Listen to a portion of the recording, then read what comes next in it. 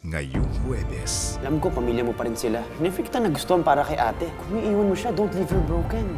Simula na ng unti-unting pagbuo sa mga pirasong winasak ng kahapon. Parang ang saya-saya natin ngayon. Sana magtuloy-tuloy na, no?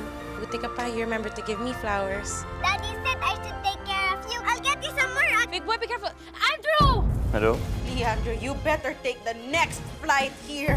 Nasaan ka na kailangan kita? 3.15 p.m.